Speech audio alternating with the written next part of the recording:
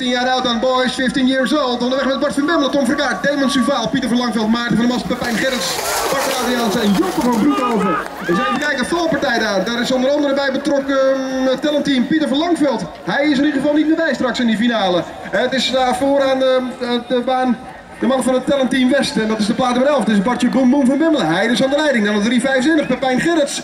Pepijn Gerrits doet ook geval ook goede zaken. En Bart Adriaans ook. Hij zit er goed bij op 3. En wie hebben we dan op 4? Dus even eens kijken.